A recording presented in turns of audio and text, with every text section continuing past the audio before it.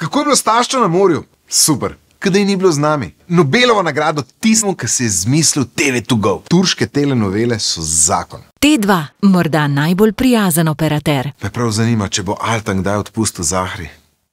Jaz bi.